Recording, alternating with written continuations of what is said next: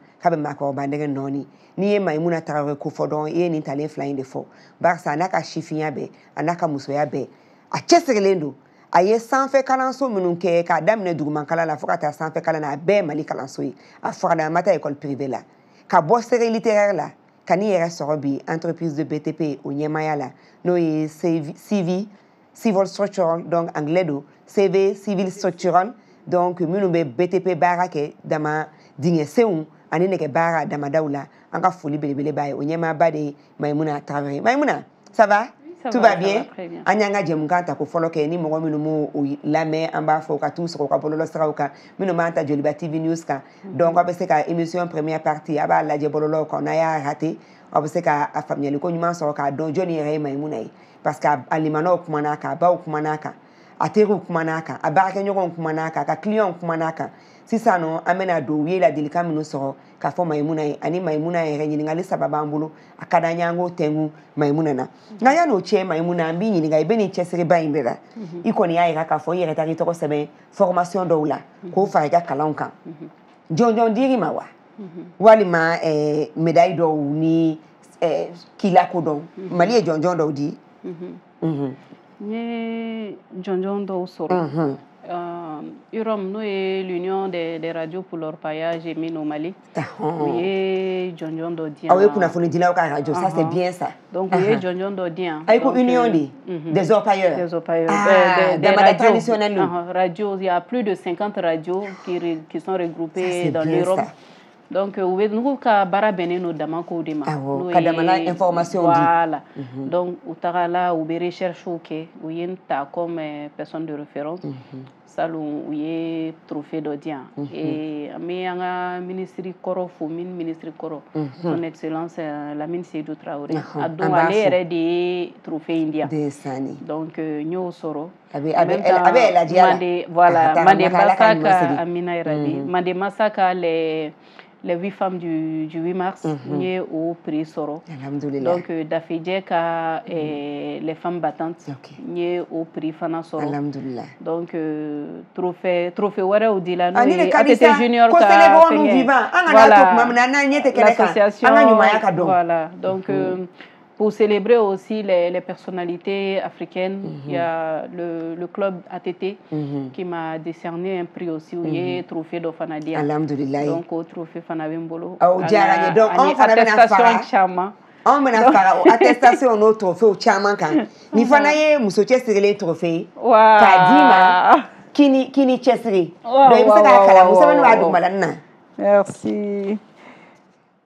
muso cɛsirilen muso bɛ muso cɛsirilen avec tous nos compliments musoya an ka muso faamuya sa eh ala donc ni tɔgɔ fɛ yen ka kan ni muso cɛsirilen symbole de ye nin ye parce que musoya i yɛrɛ y'a fɔ i ye i ye furumuso ye i bɛ denbatigiya la i bɛ ingénieuriya la i bɛ donc den b'i bolo barama b'i bolo dabakala b'i bolo parce que muso kan ka nin bɛɛ de kɛ n'i kɔni ko muso dɔrɔn i ko k'a bɛɛ de ni muso tɛ yɔrɔ min na baara tɛ yen donc an b'o de fɔ kuma bɛɛ cɛ minnu bɛ an dɛmɛ na k'u ni ce musoya ka muso cɛ sigilen ni certificat de bɛ na donc i bɛ se ka certificat in fana kalan k'a yira k'a dɔn k'a fɔ mieux comprendre la femme muso cɛsirilen certificat so certificat est discerné o de don dɛ ɲɛji de don muso cɛ sigilen ni ɲɛji an kɔni n'an y'a kɛnɛ sigi dɔrɔn a émotion ka bon madame Maïmouna Traoré pour les efforts consentis l'abnégation mm. et les services publics rendus, mm-hmm. avec toute notre gratitude mm-hmm. et, reconnaissance. Mm-hmm. Ina kakan. Wow. Ina kakan. k'a jira halisa ko maimuna ye muso cɛsirilen a y'a kɛrila ka dɔ ɲininka donc a terimuso ye min sɔrɔ k'a fɔ madame tarawele gise ah, fatim gise ale ye terimuso ye dɛ fatim ye min sɔrɔ k'a fɔ a terimuso kan an bɛɛ ka jan k'o lamɛn waaw oh là là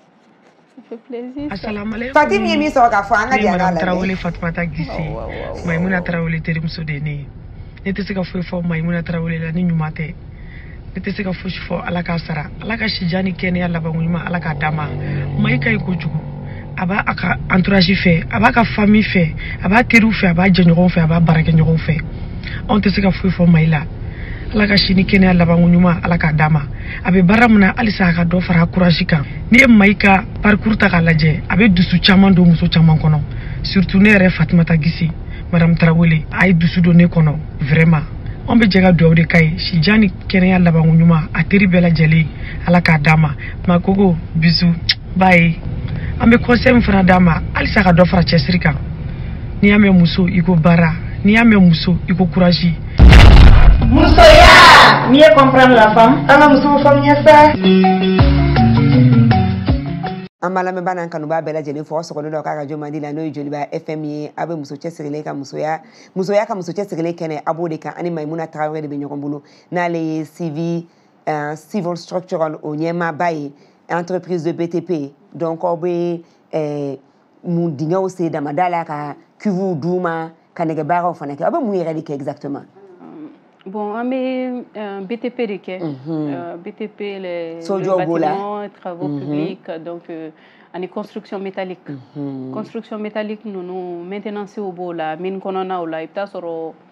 o kɛlen nɛgɛ minnu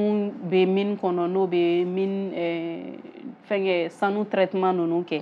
a nɛgɛ dɔw bɛ kɔrɔ dɔw bɛ yen a construction kura an bɛ o baaraw kɛ donc mun ye sojɔ ye ani so kɔrɔ jɔlen ka a réaménagement kɛ ka betonw kɛ donc euh, génie civil baara fɛn fɛn bɛ yen an bɛ dɔɔni kɛ o la mhm. construction métallique kɔnɔna na min ye réservoir de cuve ninnu ye les cuves de réservoir mhm. tanki ninnu an bɛ mhm. tanki an b'a kura jɔ en même temps ni kɔrɔlen minnu bɛ yɔrɔ min na n'a tiɲɛna n'u bɛ fɛ ka a modifier ou bien ka fabriquer kura ye an bɛ o nɛgɛw tigɛ ka bɔ yen ka nɛgɛ kura soudé a la k'a jɔlen to ka sɔrɔ a ma kɛ ni degun ye mhm. donc euh, usine kɔnɔna na yɔrɔ minnu bɛ yen fana ni entretienw ka ɲi ka k'u la mécanique sira fɛ mhm. donc mécanicien qualifiélenw b'an bolo mhm. minnu bɛ o baara ninnu kɛ donc euh, ah, an b'a f'i ye donc minnu baara dɔgɔya de ye aw ye an bɛ se k'a fɔ parce que u tɛ se ka taa ye cogoya si n'aw fana t'u kɛrɛfɛ production kɔni an b'u dɛmɛ maintenance la mm-hmm. kosɛbɛ an b'u dɛmɛ ça c'est bien ça mm-hmm. eh, i y'a yira k'a fɔ u ye sanfɛ kalanso mm-hmm. LLT i y'o de kɛ ka stagew kɛ douaniw na ka na se bi ma an b'a ɲini Augustin n'a ka jama fɛ u ka eh, jingɔn nin u k'a k'a la tuguni maaw k'a dɔn jɔni ye Mayimuna ye Abdu kumakan bɛ yɔrɔ min na u k'a kalan k'a lamɛn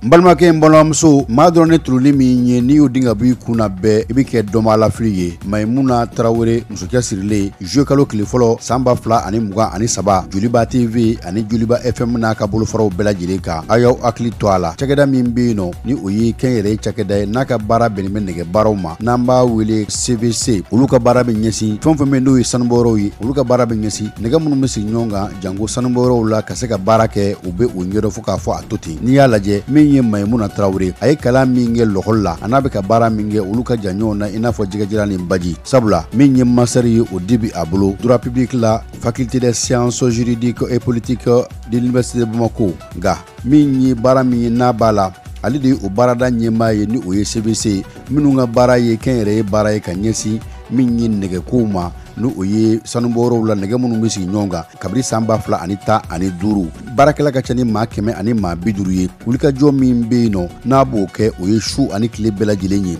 baaradege min kɛla kalan kɔfɛ o kɛla an ka jamana cakɛda kɛrɛnkɛrɛnnenya na min bɛ yen nɔ ni u ka baara ɲɛsinnen bɛ an ka sɔrɔkow ma duwan maliyɛn u ka bolofara min bɛ yen n'o ka ko ɲɛsinin bɛ jagokow ka taa se min ye baarakɛlaw ka hakɛw olu bɛ tɔbɔtɔ cogo min na ani sɛbɛnfurako min ye misali ɲuman ye mayimuna tarawele y'o ye an bɛ don min na i n'a fɔ bi janko an kundalen bɛ mali kura min kan a tɛ ɲɛ abada fo denmisɛnninlakaw minnu ye sifinw ye olu ka wuli ka jɔ kɛ walasa faso a bɛ se ka jɔ jɔcogo ɲuman na cogo min na a y'aw hakili to a la sibiridon don mayimuna tarawele an n'a bɛna ɲɔgɔn sɔrɔ musokɛ sirilen kɛnɛ kan n'o o ye emisiyɔn musoya ka jamukan kɛrɛnkɛrɛnnen ye min bɛ lase aw ma kalo wo kalo sɔgɔmafɛnɛgɛ kan ye tan waati joliba tv news kan directement na a bɛ se k'a sɔrɔ min ye joliba fm fana kan n'o ye 105 100.0 FM Bamakɔ 100.1 FM Segu 103.8 FM Sikaso a bɛ se k'a lajɛ fana directement na page Facebook kan min bɛ musoya tɔgɔ la n'a y'a sɛbɛn ka ban ko musoya musoya bɛ sɛbɛn M U S O Y A musoya mieux comprendre la femme an ka musow faamuya sa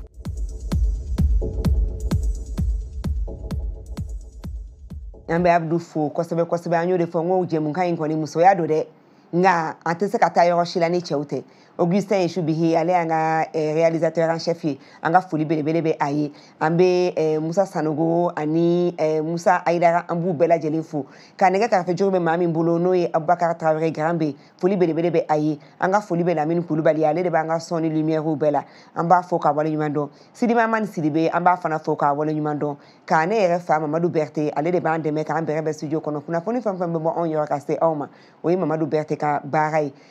augustin y'a fo n bɛ tila k'a fo tuguni ale y'an bɛɛ ka patɔrɔnba de ye émission ye réalisation b'ale de bolo babson tɛnbeli an b'a ye an ka foli belebele b'ale ye parce que an bɛ seereya minnu lamɛnɛ an ka jɛmukan kɔnɔna na an b'a ye babson ale de b'olu sigi sigi ɲɔgɔn kan foli bɛ aw bɛɛ lajɛlen foli belebeleba bɛ di mɔgɔ min ma o ye aw ye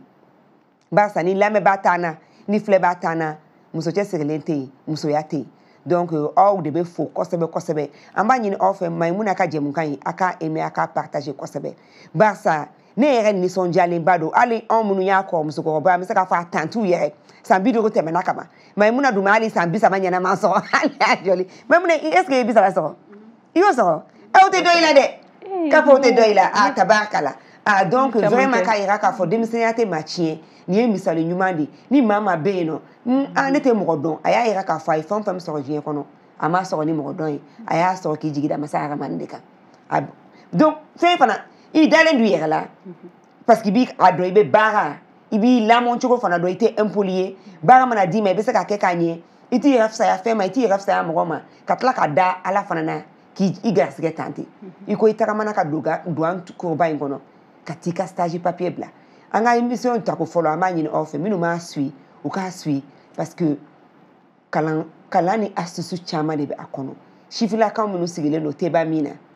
minnu découragélen don ko baara tɛ ko ça ne va pas jamana tɛ jɔ jamana bɛ jɔ dɛ parce que a jɔbaga ɲumanw bɛ yen alhamdulilayi fosi ma tiɲɛ n'i ye mayimuna n'a ɲɔgɔnw ye bi a vraiment a bɛ espoir di an ma an bɛ taa n'a ye halisa an b'a ɲini a terimuso seginna ka na awa ye min sɔrɔ k'a fɔ conseil la an ka jɛ an k'a lamɛn ladilikan min bɛ ne bolo ka lase mayi ma mayi ma jiginnen don cogo min na an n'a dɔgɔnin filanw n'a kɔrɔ filanw ni a fa n'a baw cɛ cogo min na ne bɛ fɛ ka dɔ de fara o kan hali bi parce que mɔgɔ i mana kɛ cogo o cogo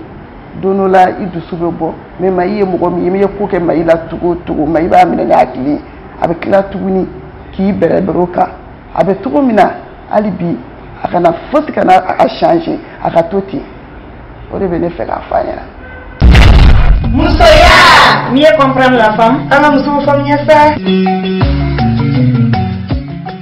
Ah, i terimuso ko ko halisa i ka to i ka majigin na a y'a yira k'a fɔ jɛmukan ta ko fɔlɔ fana na ko humanitaire ka di kojugu mɔgɔ dɛmɛ mhm. mais i ye mɔgɔ min ye tu ye disquette ah, parce que o yɛrɛ fana fɔra a ma se i t'a kɛ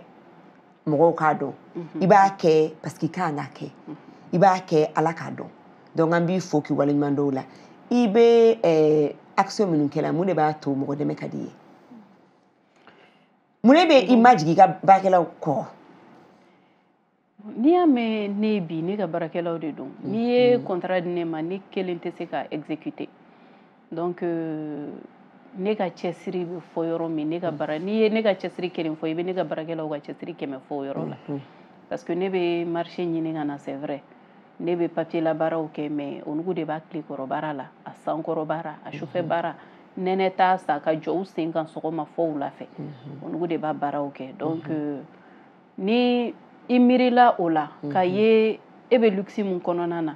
i ka musoyama lase i ma mhm. ala ye sababu dɔ de d'i ma i y'a sɛzi i bɛ ka baara kɛ n'a ye mhm. n'i nana yira k'a fɔ i ka fisa u bɛ ka ɲɔgɔn mɔgɔw la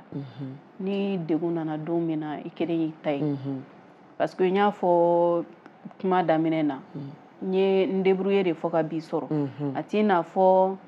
ba tun bɛ yen se bɛ mun ye entreprise ba b'a bolo n'o y'a di yan ou bien fa tiɲɛ n ye gɛlɛya minnu sɔrɔ ka na n'i y'a sɔrɔ yɛrɛbaya de tun bɛ ko dilan n tun tɛ se ka ko dilan ni yurukuyuruku ni ŋanamuŋanamu de tun bɛ ko dilan n tun tɛ se ka foyi bɔ donc masa ramani mun kɛra sababu ye ka ne dɛmɛ bi o masa ramani kelen kama ni ne bɛ se ka mɔgɔ mɔgɔ dɛmɛ fo n'a se tɛ n ye ne b'i dɛmɛ ne tɛ mɔgɔ dɛmɛ k'i k'a sara ne ye dɛ mɔgɔ si tɛ se ka mɔgɔ sara mhm. bi tile in na mais i bɛ mɔgɔ dɛmɛ mɔgɔ fana ka dɔ wɛrɛ dɛmɛ voilà parce que i fana dɛmɛna dɔɔni i ka cɛsiri kosɔn mhm. i y'a yira n'a kɛ jɛmukan ta ko fɔlɔ la ko garaham ripel mhm. a y'a dɔn i ka patɔrɔn fɔlɔfɔlɔ k'i bɛ se ko la ka société t'u bolo ka taga parce que a rentré la i yɛrɛ i cɛsiri bi o tɛ bila ko ye dɛ 2015 fo bi société bɛɛ de bolo ni tun tɛ se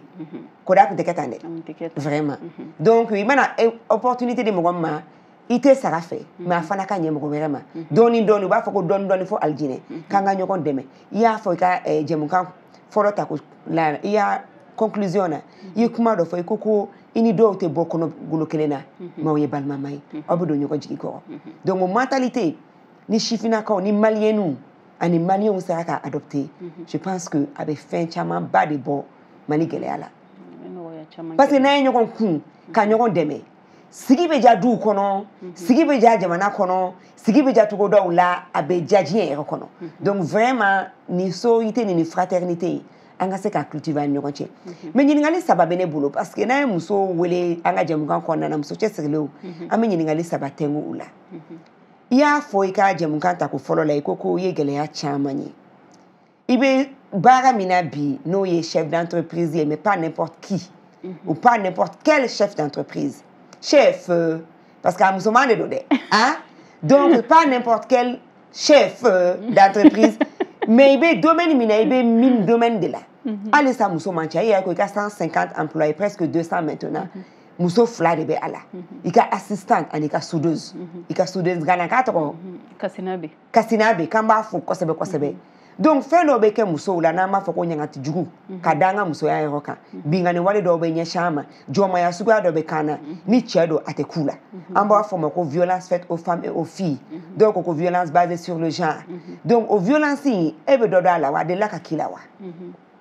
a misali yɛrɛ ye min ye nka a ma se k'a fɔ k'a kɛra ye b'a dɔn ni muso ye ɲɛmaya sɔrɔ dɔrɔn surtout a cɛ ka ɲi a tigɛcogo ka ɲi a kunkolo ka ɲi a farisogo ka ɲi a bɛ se baara la a bɛ se labɛn na b'a fɔ e b'a dɔn an ka n'a ka patɔrɔn bɛ ɲɔgɔn fɛ de ani nin de bɛ ɲɔgɔn fɛ nin de kɛra a la a ye o a sɔgɔlen don nin ka biro kɔnɔ aa muso an sɛgɛnnen dɛ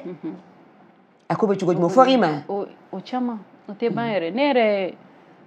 i b'i tulo ci k'i ɲɛ ci manu bɛ ne bolo min kɔnɔ ne yɛrɛ t'a dɔw dɔn yɛrɛ tellement ko kɛlen don ka fɛn ni i ye fɛn dɔ sɔrɔ ni ni ni karisa bɛ ɲɔgɔn fɛ i yɛrɛ tulo b'a dɔw dɔn hali mm. kuma t'i n'a tigiw cɛ mm-hmm. yɛrɛ mais o si tɛ problème ye mm-hmm. n'i y'a ye dɔ bɛ f'i ma mm-hmm. i bɛ mɔgɔw ɲɛ de ni dɔ bɛ f'i ma i bɛ ka dɔ de kɛ sinon n'i sigilen b'i ka soju la baara t'i bolo wari t'i bolo e de bɛ derili la mɔgɔ si tɛ dɔ f'i ma donc euh, o fɛn ninnu voilà donc o ye jɛnatigɛ yɛrɛ tagabolo dɔ ye ne b'a faamu ka k'o de ye donc ne t'o o fɛnw jate kiritiki kiritiki ka di mais kiritiki kana to a ka a jogow de ka ye i la donc ni mɔgɔ k'i ma k'i ɲɔgɔn son tɛ ni mɔgɔ ma deli tigɛ ye a ka fɛn na voilà o de ka jugu donc o caman b'a la o t'i tɔɔrɔ o tɛ n tɔɔrɔ o contraire o bɛ n pousser ka n ka baara continuer mais souvenir dɔ b'i bolo k'a fɔ ko nin kɛr'i la vraiment i yɛrɛ y'a dɔn k'a fɔ n'i tɛ muso ye a tɛ ku a tigi la a k'a k'i la souvenir dɔ b'i bolo i bɛ se ka min partager anecdote dɔ bon o caman bɛ kɛ parce que ne yɛrɛ n bɛ exemple ta déjà n tagala n ye baara daminɛ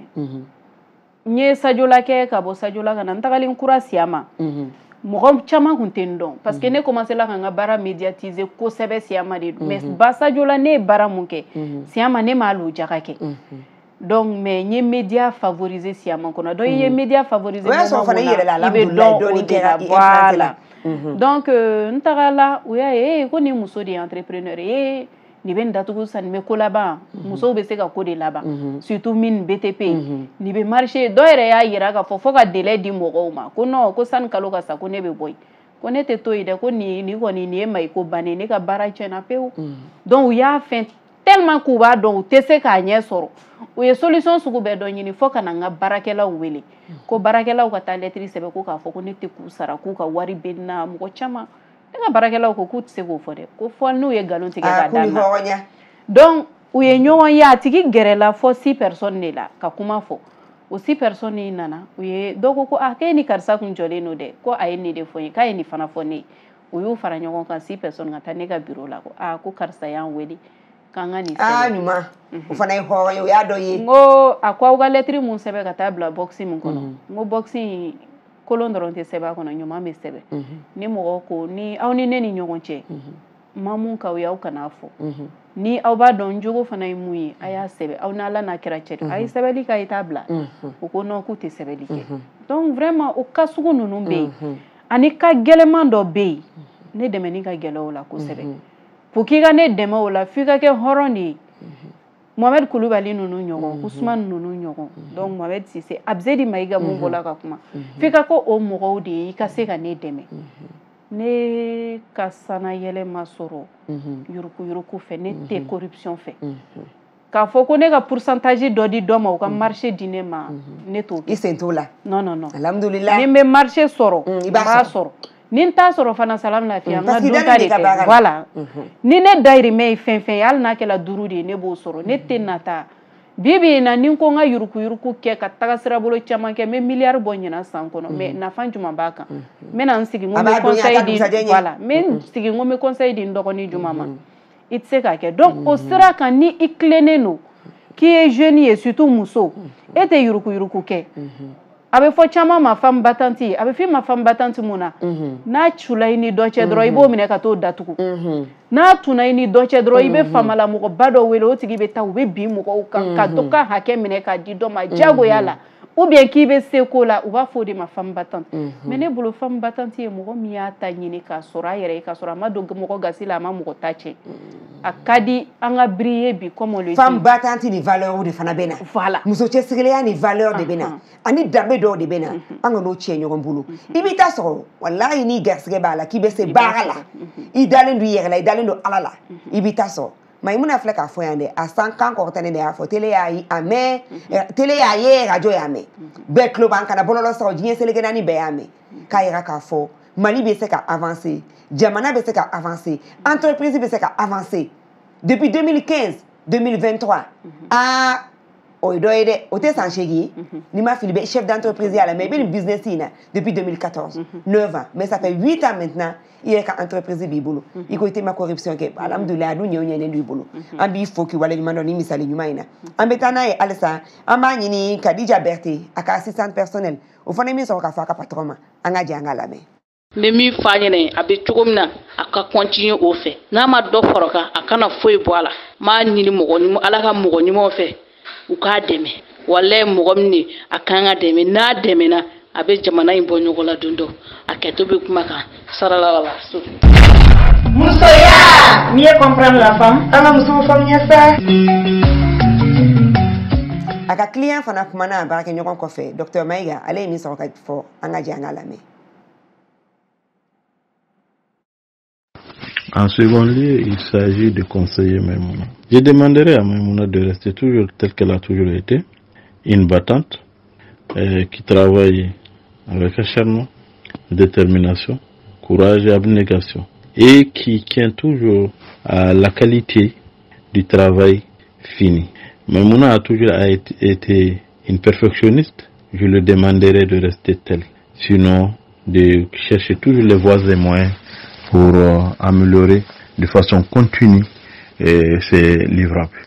Et Memouna, je lui demanderai de se sentir avec ses équipes, rester à l'écoute de ses équipes et continuer à se battre avec détermination, dévouement.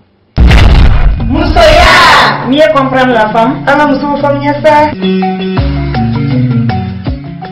an b'a lamɛnba n'an kanuba bɛɛ lajɛlen fo k'a tila jigin kɛ k'a fɔ sɔgɔli lɔ ka jɔnrajo mandi la n'o ye joliba fm ye minnu bɛ k'an lamɛn bamako n'a lamini 105.0 segu n'a lamini o ye 100.1 ye sikaso n'a lamini 103.8 foli belebele bɛ aw ye minnu fana b'an lamɛn rajo la bonne nouvelle sanfɛ 96.6 mardi o mardi à partir de 18 heures an b'aw fo k'aw waleɲuman don halisa ala ka kanu to aw ni ɲɔgɔn cɛ aw minnu b'an ta jabaganiw kan n'o ye joliba tv news ye 237 canal 256 mali vision an b'aw fo k'aw wale ɲuman dɔn ka tila ka minnu bɛ bɔlɔlɔ siraw kan n'o ye musoya page ye mus kelen o y a foli belebele bɛ aw ye k'a ɲini aw fɛ aw ka jɛmukan in partage kosɛbɛ kosɛbɛ parce que muso min bɛ an bolo bi aa n b'a f'i ye ne kuma dɔgɔnin don nka an karamɔgɔ don dɛ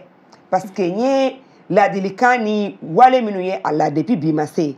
aa n yɛrɛ b'a fɛ ka tagama a senɔ na paseke ko denmisɛnniya tɛ maa tiɲɛ ale y'o misali yɛrɛ yɛrɛ de ye mayimuna i tarawele an b'i fo k'i wale ɲuman dɔn cvc eh, cv cv donc cv civil structural civil structural donc civil structural an b'a fo ka wale ɲuman dɔn anglais don nin ye btp eh, entreprise ye mayimuna bɛ min ɲɛmaaya la bi nin y'a san seegin ye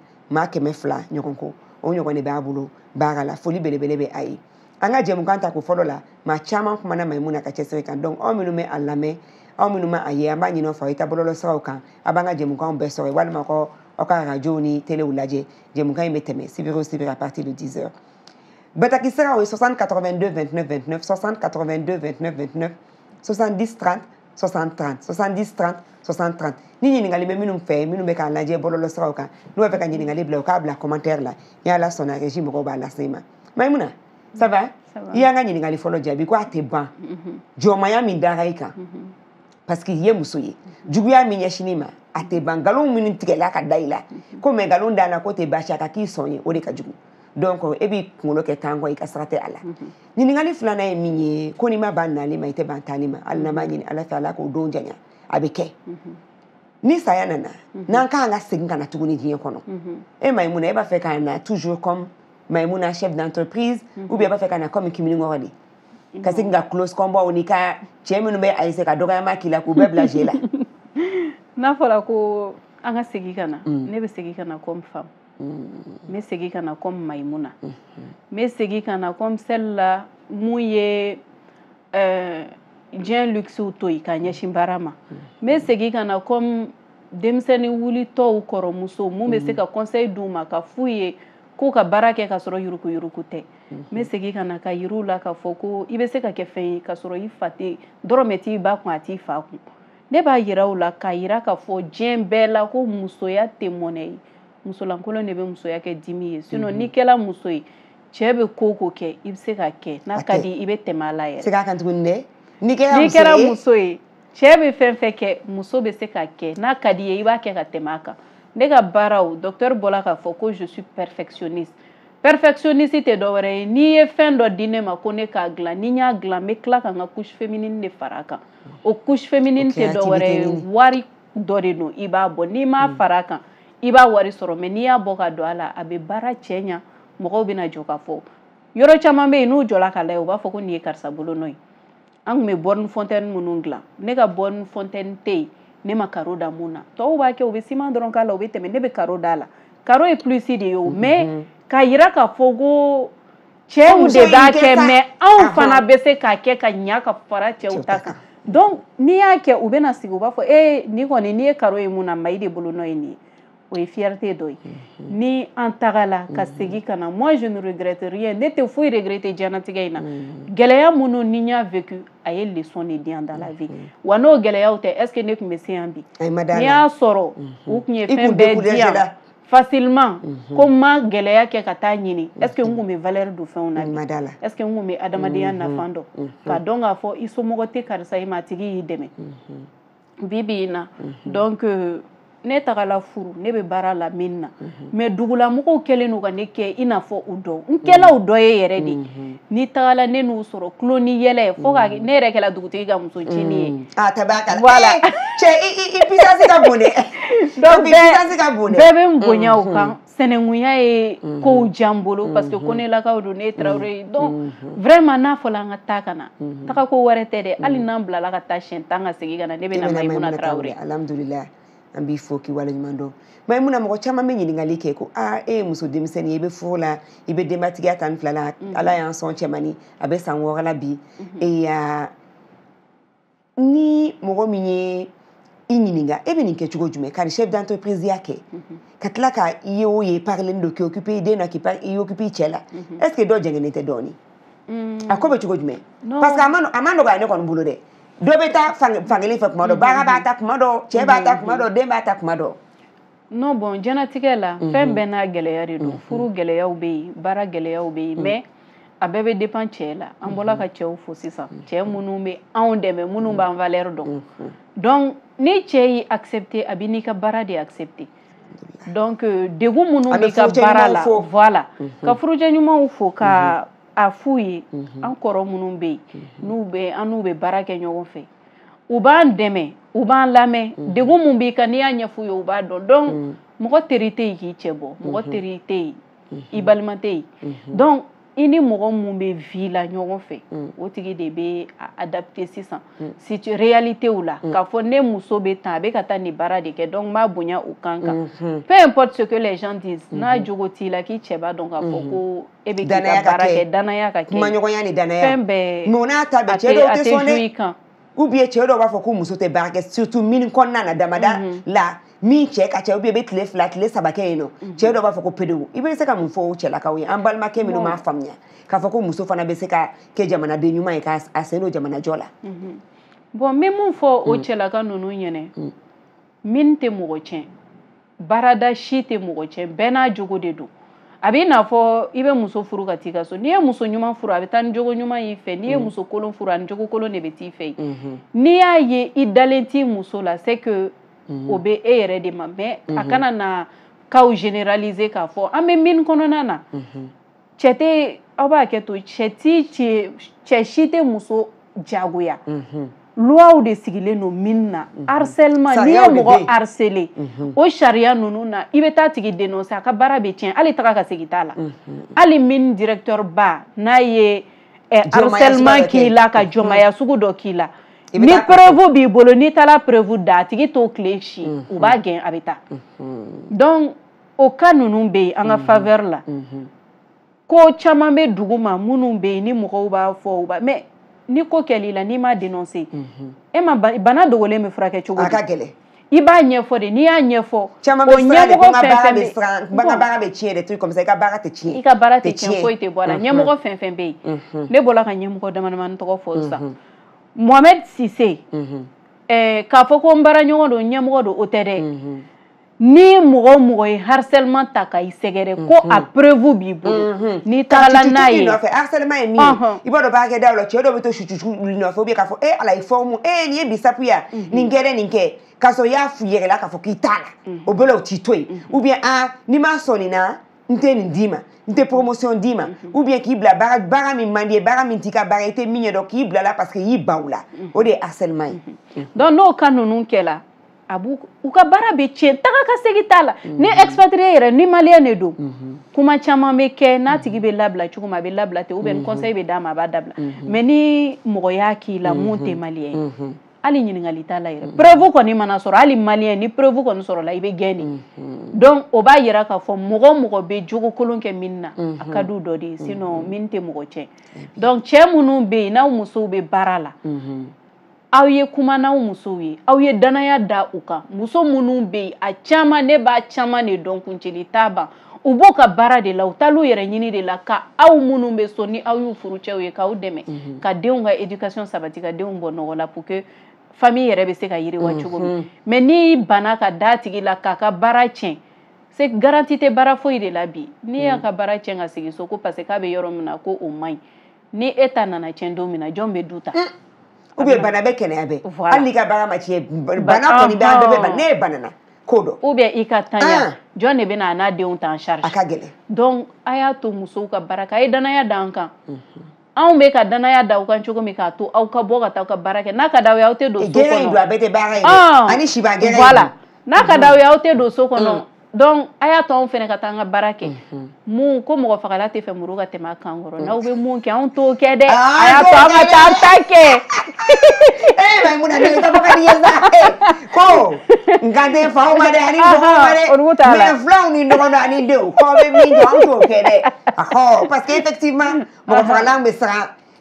parce que u b'a dɔn u b'a dɔn min bɛ dugu kɔnɔ mais anw t'o la à vrai dire muso caman bɛ yen u cɛ sirilen de don u bɛ baara kɛ u bɛ wuli sɔgɔma 4 heures ka denmisɛnninw ka nécessaire kɛ ka taa min na ka tila ka segin ka na donc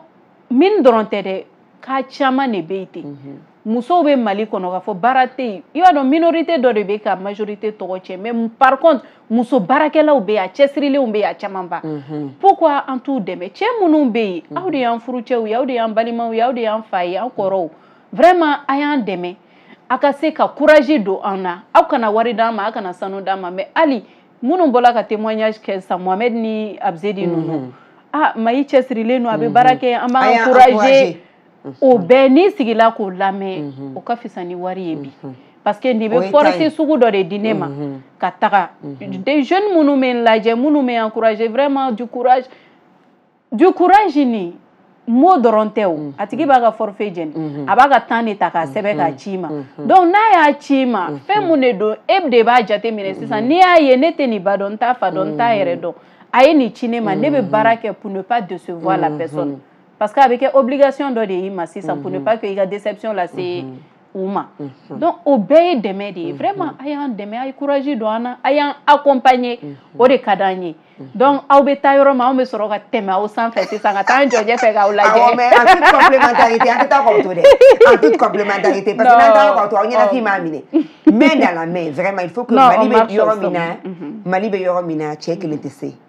muso kelen tɛ se parce que anw k'an ka pan de kuma caman dɔw b'a fɔ non an k'an ka boli an ka premier ministre b'a fɔ ne ko bolili tɛ dɛ anw k'an ka pan de parce que an bɛɛ kɛ tari la kojugu an tɛ se ka pan ni kama kelen ye fo cɛ ni muso an bɛɛ ka wuli o de y'a to a ka d'an ye kuma bɛɛ aw ka jɛmukan ma ni muso ye an ka muso cɛ sigilen kɛnɛ sigi kalo kɔnɔ siɲɛ kelen sa kalo sibigilama o kalo sibigilama ye sibigilama jɛ an y'a kɛ kalo sibigida minɛ ye an bɛ nin jɛmukan in sigi ka musow dɔ lana k'a yira diɲɛ maa la u k'a dɔn k'a fɔ mali musow bɛ baara la sutu n'a y'a sifinnakaw sɔrɔ o de ka di ne ye kosɛbɛ sifinnaka min ye fantanden ye k'a yira k'a fɔ ko espoir bɛ yen mɔgɔw kana blu kun na k'a fɔ il faut que toujours coup de pouce coup de pouce coup de pouce fɔlɔ ye min ye a ye yɛrɛ ka courage n'i ka kalan n'i ka cɛsiri ye i ka honnêteté i ka valeur i k'i ka danbe garde i ka sɔn baara ma n'i ma sɔn baara ma a mana d'i ma cogo o cogo a bɛ tila i la an ka taa n'an ka témoignage tɔ ye n bɛ n ka régie mɔgɔw bɛɛ lajɛlen fo halisa témoignage tɔ minnu bɛ yen o k'o k'a la an ka sɔrɔ ka kuma di mayimuna ma an bɛ sɔrɔ ka nɛgɛjuru sira labila ni minnu b'a fɛ ka weleli kɛ n bɛ ladilikan min fɔ a ye hali bi halisa mɔgɔ bonya min b'a bolo a ka baarada la a ka dɔ fara a kan a biya a bɔra n'o o bonya min ye so kɔnɔ ka s'a ka baarada la i t'a n'a ka baarakɛlaw dɔn ka bɔ ɲɔgɔn na hali bi halisa ko mayimina ka dɔ faro kan hinɛ min b'a dusukun na ani makari min b'a dusukun kan ko mayimina ka dɔ faro kan hali bi a bɛ hinɛ a bɛ makari a bɛ sun a bɛ seli fo n ye mayimuna ba ɲininka ko mayimuna ka sun ye o n k'a bɛ mun de sun ba ko n ma ko sun yɛrɛ de ka di mayimuna ye sun ka d'a ye seli ka d'a ye n bɛ ala deli hali bi halisa ala ka dɔ faro kan ala k'a bolo mɛn baara in na ka baara in yiriwa k'a sankɔrɔ ta fo bɛɛ k'a lakodɔn hali bi halisa ne b'o duwawu k'a ye musoya n'i ye kɔnpirɛn la faamu an ka musow faamuya sa an tanti k'ala ka duwawu bɛɛ minɛ an b'a fo jojo kuyate madame bagayego ale ye maimuna ba terimuso ye minnu ma jɛmukan in ta ko fɔlɔ lamɛn u ka sɔgɔ ka bɔlɔlɔsagaw kan musoya page walima radio ni tele jɛmukan in première partie u bɛ se k'a ta ka se ka eh, faamuyali sɔgɔ kumaw la maimuna ko i bɛ museliba la ko fɔ ale yɛrɛ bɛ ɲininkali kɛ donc i bɛ nin ko bɛɛ la silamɛyaw de y'a to i dusu sanuyalen don quoi hali n'i ye mayimuna ye a kɛcogo a n'a bɛ wale minnu kɛ i b'a dɔn k'a fɔ ɲɛngoya ni hasidiya t'a dusukun na quoi i bɛ muso sunba la de walima o de y'i ka sekɛrɛ ye po maintenir ta beauté la ah! non bon seli ni sun filɛ euh, ne ne bɛ seli ni sun kɛ pour que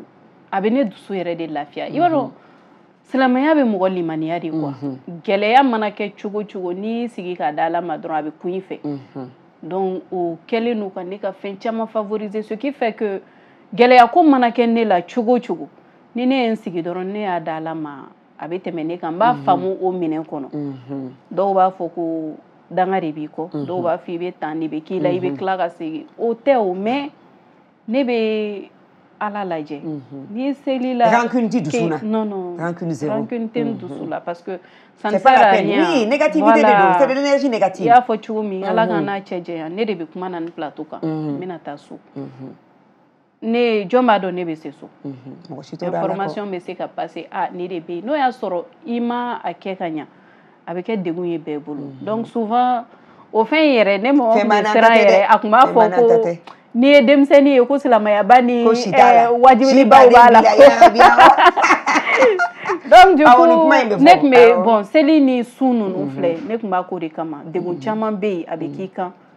i tɛ se k'a fɔ mɔgɔ ye i b'a tu i kɔnɔ mɛ n'i b'a tu i kɔnɔ i bɛ se k'a fɔ mɔgɔ min ɲɛna o ye ala de ye dɔn i b'a fɔ ala ye cogo la masaramani i bɛ seli ka ɲɛfɔ a ye n'i tilala u gɛn n'i bɛ sun don i bɛ sun don ne kɔni n'i tun y'i jɔ ka i ŋaniya ta masarama ni de bɛ ne kan n'i ye nin bɔ ne kan n bɛ tile fila o bɛ sɛmɛ kelen sun don ye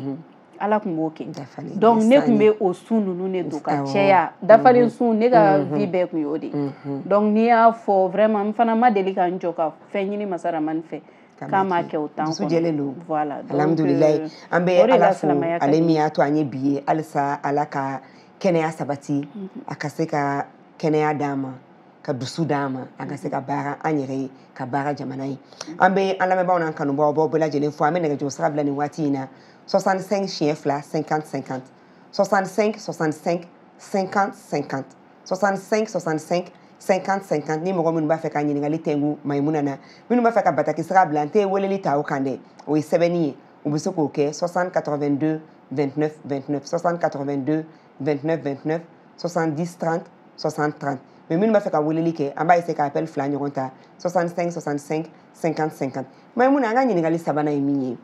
n'an b'a tɛngu muso welelen bɛɛ la eh, kɛnɛ kan o ye i ka héritage n'i tɛ yan don min na e b'a fɛ i ka dɔn cogo jumɛn e b'a fɛ i ka dɔn de a nin kun ye eh, close combat ŋana dɔ ye mhm. a nin kun ye chef d'entreprise ba ye ou bien nin kun ye maa ye min bɛ hinɛ kojugu e b'a fɛ i ka dɔn cogo jumɛn ne bɛ fɛ ne ka dɔn cogo min n bɛ mhm. fɛ u k'a fɔ ko mayimuna tarawele tun ye mɔgɔ ye mhm. a y'a ka baara kɛ k'a ka sow jɔ k'a ka mobiliw san k'a ka baara n'a ka fɛn bɛɛ kɛ k'a sɔrɔ a ma yuruguyurugu kɛ a ma ŋanamuŋanamu kɛ an ka exemple t'a kan an ka faso bɔ nɔgɔ la C'est le travail paie. Voilà. Mais le travail bien fait. Le travail bien fait. Mm. n bɛ fɛ u k'a dɔn k'a fɔ ko a y'a ka wari sɔrɔ a ma bɛn a kelen ma a na kelen ma dun a ye mɔgɔw dɛmɛ n'a ye a se kɛla mun ye ka kɛ fantanw ye a y'o kɛ a se kɛla mun ye hali ka minnu dɛmɛ ka u ka entreprenariyaw développer a y'o kɛ donc ne bɛ fɛ ka o de imaji ka to yen na mhm. a ka dɔn k'a fɔ ko ma mɔgɔ tɔɔrɔ ma mɔgɔ tɔɲɔ ma mɔgɔ dayirimɛ tiɲɛ mhm. k'o kɛ n ta ka se ka ɲa mhm. mɛ a y'a debrouye a ye baara kɛ dɔn dɔɔni fɔ ka yɛlɛ mhm. an ka exemple ta nin kan an k'a dɔn k'a fɔ sigi tɛ mɔgɔ sɔn donc an ka wuli ka baara kɛ an fɛnɛ k'a ta ɲɔgɔn kɛ an kana don mɔgɔ gasi la an kana mɔgɔ dayirimɛ tiɲɛ an kana mɔgɔ lanɔgɔ pour k'an ka se ka yɛlɛ alhamdulillah a y'o mɛn an kana mɔgɔ lanɔgɔ pour que an ka se ka yɛlɛ ko n'ale ɲɛ tɛ kɛnɛ kan bi a b'a fɛ bɛɛ k'a dɔn k'a fɔ ni mun ye baarakɛla ŋana de ye baarakɛla min ye baara bɛ ta sɛbɛn ma k'a sɔrɔ a ma ŋanamu kɛ a ma kurutu kurutu kɛ fɛn o fɛn dira ma parce que baaralankolon tɛ yen mhm. baaralankolon tɛ yen maa kana jɔ baara la an b'a foli ni kanu bɛ an lamɛnbaa bɛɛ lajɛlen minnu bɛ k'an ta bɔlɔlɔ siraw kan minnu bɛ k'an lamɛn radio joliba fm sanfɛ 105.0 bamakɔ n'a lamini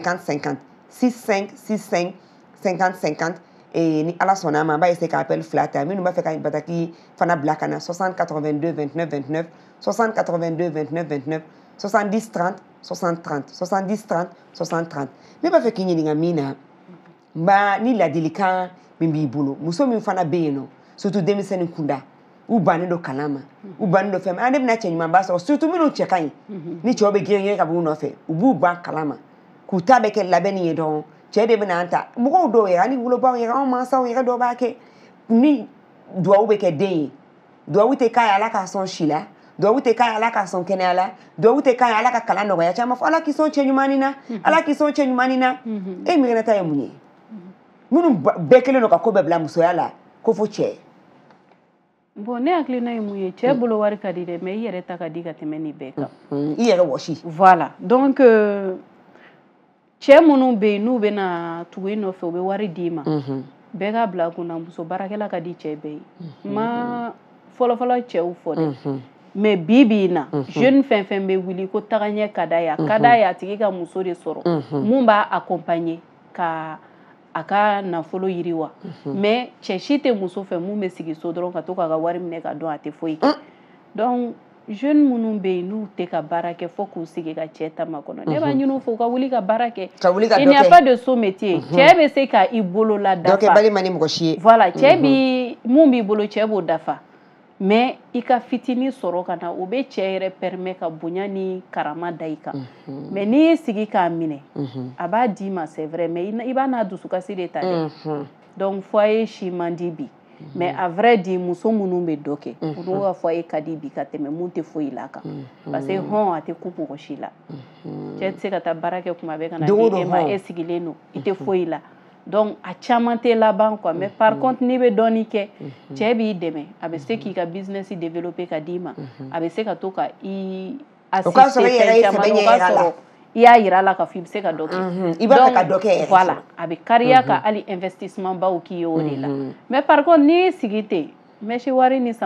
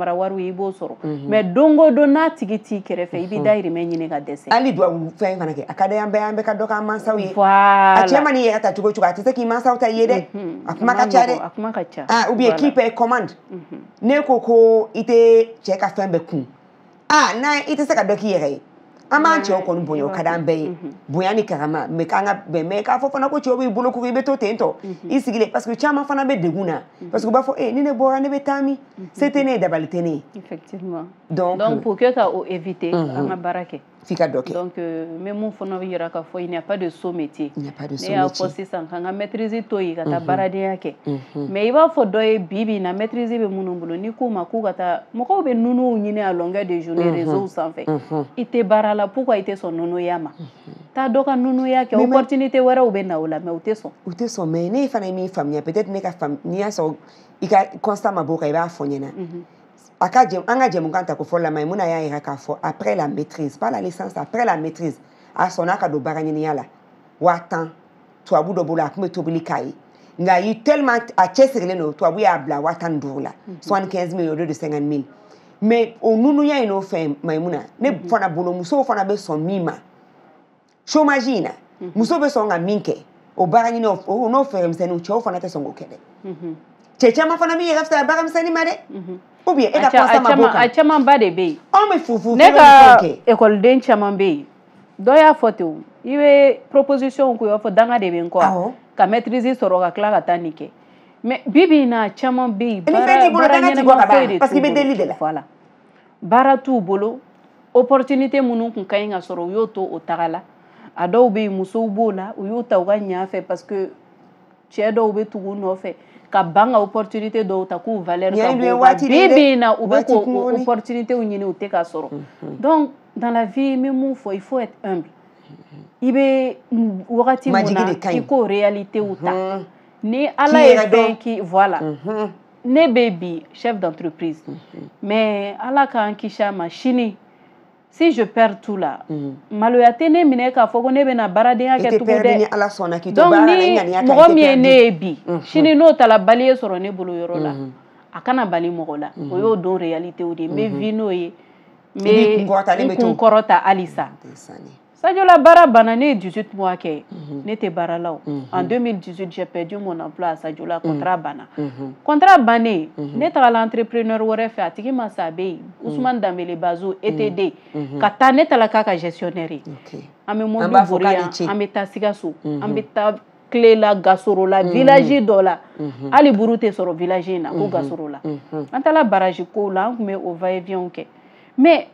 cɛ tun bɛ ne sara da mun na hali ne ka baarakɛla bɛɛ la fitinin mhm. o sara ka ca n'a ye mhm. mais j'ai accepté parce que a ka fisa ni fu ye ni minɛ ka bili da a ka fisa i da lankolon très bien n mhm. sɔnna o ma ka n ma jigin n tɛ fini ko n tɛ minɛ nɔgɔ ko mais ne tun bɛ n ka chef ka fini ko a moment na parce que o réalité de tun y'o ye n sɔnna o ma mais bi bi in na n'i ye dɔ ta mun bɛ entrepreneuriat ne ka bɔ nin na sisan dɔ ka taa minɛn dɔ di ne ma ou bien ka fini dɔ di ne ma ko mayi ni ko n b'a fɔ ee fo ka n sa ka fini ko ka sɔrɔ o t'i ka fiche o t'i ka fiche de eh, travail la. ne ne tun b'a ka fini ko n bɛ tobili kɛ ka d'a ma n bɛ yɔrɔ nettoyer donc fɛn dɔw de don dans la vie ni i i bɛ mun kɔ n'i y'o dɔn i bɛ sɔn fɛn caman ma wa ala bɛ sira caman dayɛlɛ i ye mais n'i sigi ko fɔ dɔ de ka na nanaman d'i ma i bɛ mɛn o de la donc c'est vrai baara tɛ mali la mais est ce que o ye réalité ye fana.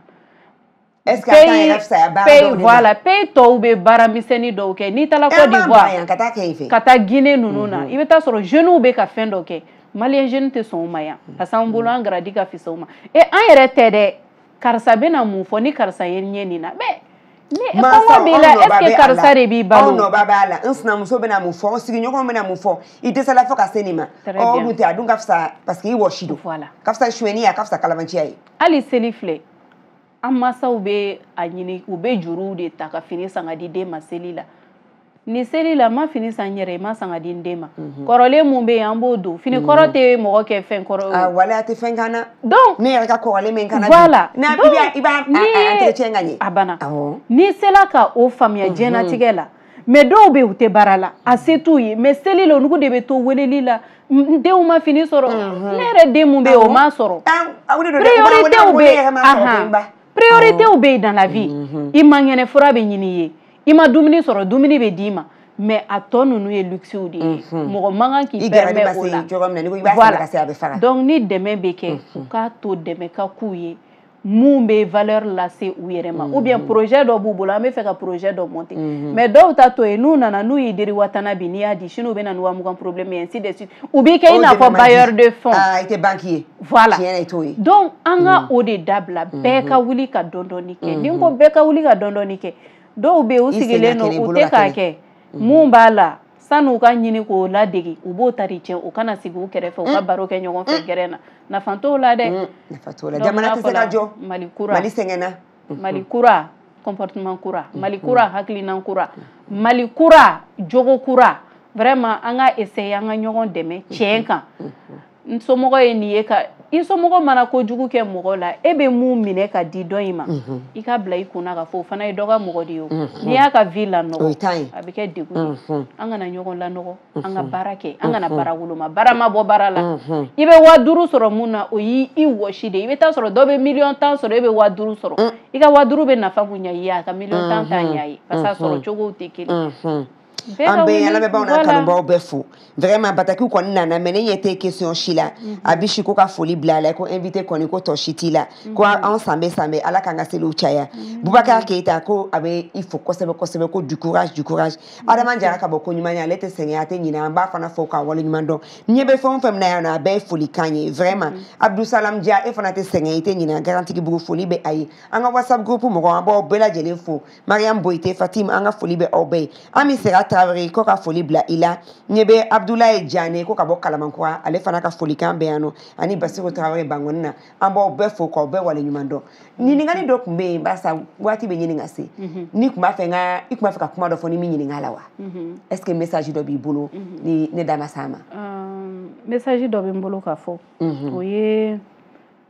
an ka baaraw kɔnɔna na min dɔrɔn tɛ dɛ mali baarada bɛɛ o kɛlen n'o ka di pourcent ko minnu légaliser hmm. vraiment n bɛ fɛ ka kuma kan mɔgɔw ka sabali ka kuma ka yɔku yɔku voilà f'i ka dɔ di tabali jukɔrɔ f'i ka dɔ di tabali jukɔrɔ entrepreneur caman bɛ yen surtout jeune kunda i bɛ taa sɔrɔ jeunes bɛ yen courage b'u la ka baara kɛ mais argent liquide t'u bolo ka taa di yuruku yuruku sira fɛ pour que marché ka d'u ma o jeune ninnu a b'u pénaliser ka sɔrɔ u bɛ se ko la u bɛ se ko la mais ni aw ko ko jeunes ka wuli ka baara kɛ fo aw ka opportunité di jeunes ma u ka baara kɛ aw tɛ ka opportunité d'u ma aw bɛ fɛ u ka na wari de di aw ma ka fɛn sɔrɔ miliyɔn kelen ma an miliyɔn kelen marché bɛ mɔgɔ min bolo n'e ko k'o ka waa kɛmɛ d'i ma waa kɛmɛ tɔ la k'o ka baarakɛfɛnw san ka a ka baarakɛlaw sara ko ka tila ka baara ɲuman kɛ ka dɔ sɔrɔ a yɛrɛ ye a bɛ mun kɛ n'i tagala bi entreprise bɛ datugu entreprise caman de bɛ ka taa fayiti la entreprise bɛ ka taa fayiti la mun na minnu bɛ pourcentage ninnu minɛ u ka sira i sala i balola u ka sira tɛ u ka pourcentage de b'u ɲɛ sira la très bien déjà u dɔ b'u bolo yɛrɛ voilà donc u b'u ka saraw de to yen ka na u gulon entrepreneurs la k'u ka balo e kan sunkurutigɛ wari de bɛ bɔ e kun ŋanamu ŋanamu wari de bɛ bɔ e kun e musotɔ de bɛ t'i yɛrɛ faga dɔ bɛ na ko ale k'o wari ŋanamu ŋanamu ka t'o di i nanaman dɔ dalen ma so kɔnɔ mun tɛ ka fɛn kɛ a ye miiri ala ma k'anw fana b'an denw de to an kɔ ka bɔ a cɛ minnu bɛ yen u b'u somɔgɔw de to yen u bɛ taa dɔ ɲini de la ka na n'a ye so mais entrepreneur mun bɛ yen ni juru b'a la bi o de ka ca jeunes tɛ se ka bɔ nɔgɔ la mhm. parce que a bɛ bila i ni entreprise ba dɔ cɛ mun yɛrɛ ka performance t'i ta bɔ a tɛ se baara la ka tɛmɛ i kan mais juste parce que wari b'a bolo u b'a d'a ma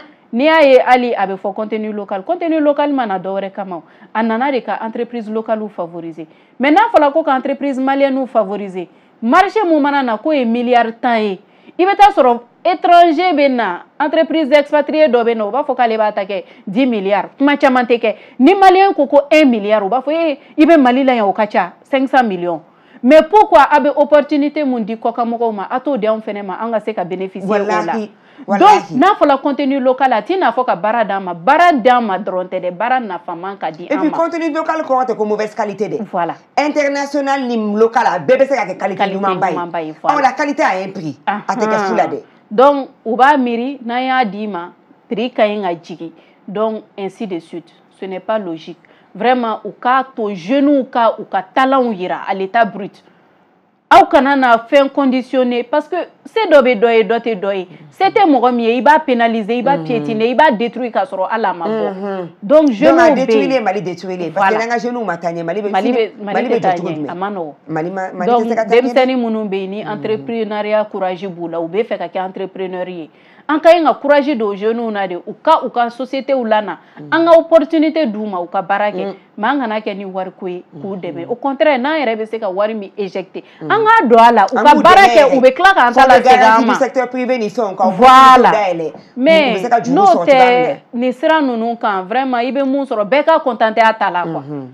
a b'a dɔn a t'a dugusajɛ ɲɛ dɛ mali sɛgɛnna ko mali kura comportement kura an b'aw fo k'aw waleɲuman dɔn kulu bɛ ɲini ka se siyama foli belebeleba an b'a lase maa ma ka seereya tɛmɛna maimuna baarakɛɲɔgɔnw a ka kiliyanw a n'a baw a n'a teriw an ka foli b'u bɛɛ ye tanti jojo an b'a fo kosɛbɛ kosɛbɛ madame bagayego an bɛ kadija bɛrite fo n'o y'i ka assistant personnel ye ka mamadu tarawele fo i ni min ye baara daminɛ ɲɔgɔn fɛ depuis hi et puis aw tun bɛ close kɔnba fana kɛ ɲɔgɔn fɛ foli belebele bɛ a ye docteur mayiga an b'a fana fo kosɛbɛ somisi la ka awa fo ka eh, madame na tarawele gise an b'a fana fo kosɛbɛ kosɛbɛ ka mohamed mo kulubali k'a fo kosɛbɛ kosɛbɛ ninnu de ka témoignage nana seereya nana n'aw ma se ka jɛmukan in ta ko fɔlɔ lajɛ an b'a ɲini aw fɛ aw ka taa musoya page kan mus kelen o y a walima aw sɔgɔlen ka tɔ joliba fm walima joliba tv tous les samedi à partir de 10 heures jɛmukan in segin bɛ kɛ a kan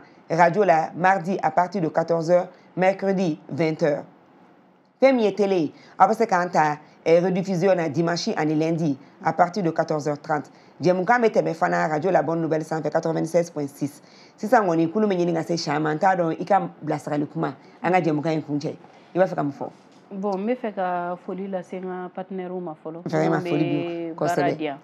resolute mining la min dɔrɔ de siya ma korika mining services n'o ye sftp ye tiɲɛ na n bɛ foli d'u ma n bɛ ɲɛmɔgɔw bɛɛ lajɛlen fo minnu bɛ k'an dɛmɛ an ka transition mɔgɔw an b'u fo parce que u bɛ cɛsiri mun na an ɲɛ b'a la donc an fɛnɛ an bɛ fɛ ka u ka waleyaw ta ka mhm. baara kɛ n'a ye o bɛ jama ka se jamana ka se ka bɔ nɔgɔ la ka dɔ kɛ secteur privé ka dɔ kɛ secteur privé ka dɔ kɛ mhm. voilà donc euh, u ye chance mun ta ka d'an ma n'o ye contenu local ko ye mhm. an bɛ ka bénéficier a la cogo min anw fɛnɛ ka effort kɛ pour que jamana bɛ se ka bénéficier minnu tɛ ka fɛn sɔrɔ an ka se ka olu fana ka ɲɛyɔrɔw d'u ma ka se ka dɛmɛ kɛ gouvernement ye parce que an bɛ ɲɔgɔn dafa donc jeunes minnu bɛ so cɛya t'a la musoya t'a la vraiment a ye wuli diplôme minnu b'a bolo foyi tɛ papier de don n'i tɛ baara la a ye wuli a ye baliyaw ta a ye yɔrɔw fura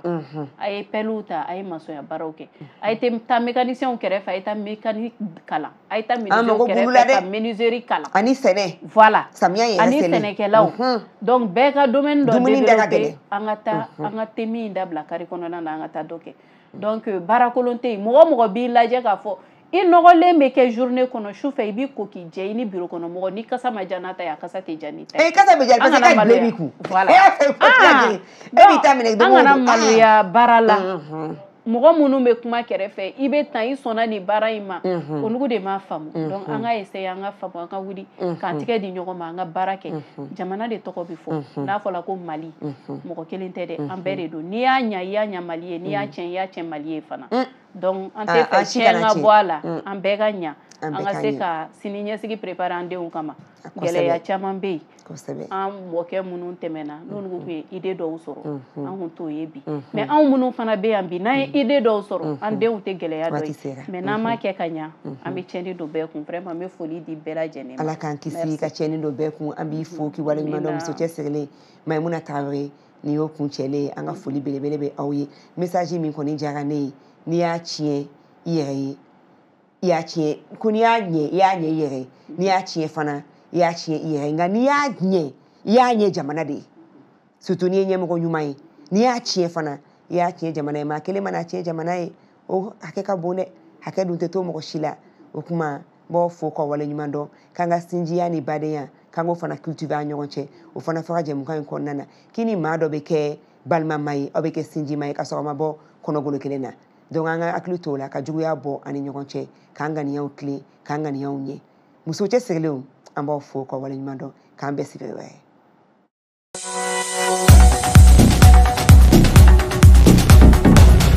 musoya ka musokɛ sirilen jamukan ye jamukan ye min bɛ kuma musow kan minnu kɛla kalaminɛw ka baarakɛtaw la a bɛ se k'a sɔrɔ joliba fm ani joliba tv kan sibiridonyaw fɛ sɔgɔlafinɛgɛ kan ye tan ka taa bila a ɲɛ tan ani fila la muso bɛ aw ka yɔrɔ la denmisɛnnin don walima maakɔrɔ a kɛ sirilen don a ma lakodɔn aw bɛ fɛ a ka lakodɔn aw kana kɔnɔni kɛ a y'an kɔntakte an pasi facebook kan ni o ye musoya ye muso ya walima jeliba tv walima jeliba fm sira fɛ musoya n'i kɔnpara la faamu an ka musow faamuya sa